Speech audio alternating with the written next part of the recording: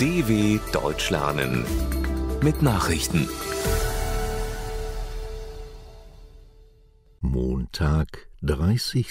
August 2021, 9 Uhr in Deutschland. Vorwürfe über zivile Opfer nach US-Drohnenangriff in Kabul. Nach dem US-Drohnenangriff auf ein mit Sprengstoff beladenes Auto in Kabul hat die Regierung in Washington eine Untersuchung wegen möglicher ziviler Opfer eingeleitet.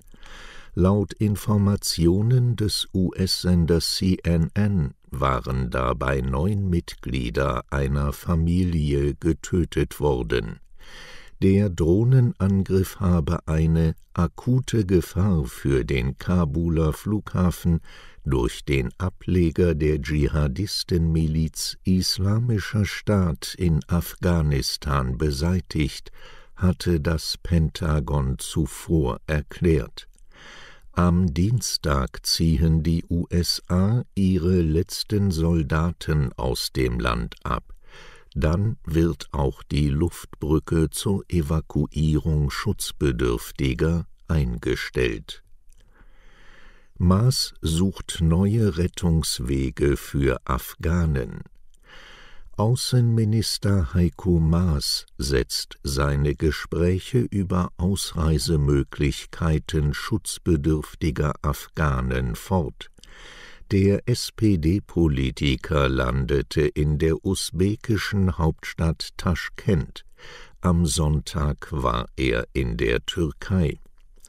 Die Führung in Ankara soll den Flughafen im afghanischen Kabul nach dem Abzug der US-Streitkräfte zusammen mit den islamistischen Taliban betreiben am Nachmittag fliegt Maas weiter nach Tadschikistan und dann nach Pakistan. Die Nachbarländer Afghanistans gelten als erste Anlaufstation für diejenigen, die auf dem Landweg vor den Taliban in Sicherheit gebracht werden sollen. Hurrikan Ida trifft in Louisiana auf Land mit Windgeschwindigkeiten von bis zu 175 Kilometern pro Stunde zieht Hurrikan Ida nun leicht abgeschwächt über den Süden der USA. Ida war aus der Karibik kommend im Bundesstaat Louisiana zunächst mit großer Wucht auf Land getroffen. In vielen Küstenorten fiel der Strom aus, so auch in der Metropole New Orleans. In einer Nachbargemeinde wurde ein Mensch von einem umgestürzten Baum erschlagen. Gouverneur John Bell Edwards warnte, das wahre Ausmaß der Zerstörung in dem Bundesstaat werde erst sichtbar, wenn Ida abgezogen sei. Erstes TV-Triell der Kanzlerkandidaten Vier Wochen vor der Bundestagswahl sind die Spitzenkandidaten von CDU, CSU, SPD und Grünen bei einer ersten Fernsehdebatte aufeinander getroffen. Nach eher zurückhaltendem Beginn des zweistündigen Triels lieferten sich der Christdemokrat Armin Laschet, der Sozialdemokrat Olaf Scholz und die Grüne Annalena Baerbock einen verbalen Schlagabtausch, insbesondere bei den Themen Klimaschutz und Steuerpolitik. Einig zeigten sich die Kandidaten in der von RTL und NTV ausgestrahlten Sendung in Sachen Corona. Demnach wollen alle drei einen weiteren Lockdown verhindern und die Impfquote erhöhen.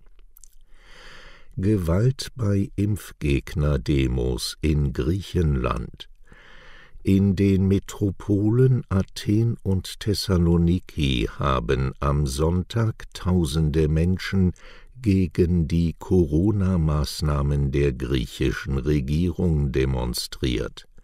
Der Protest richtete sich gegen die Einführung der Impfpflicht im Gesundheitssektor zum Ende der Demonstration in Athen eskalierte die Lage vor dem griechischen Parlament. Randalierer warfen Steine und Brennsätze auf Polizisten.